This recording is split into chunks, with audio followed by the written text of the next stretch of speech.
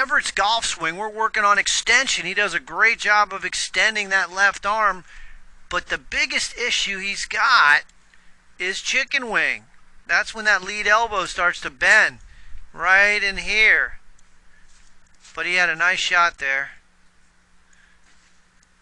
I want to work on not chicken winging that left elbow. Pretty good swing. All right, nice job. You kept your head reasonably still. Good swing, Everett. Nice job. Way to go. Did that go in the water? Flew, flew in the water.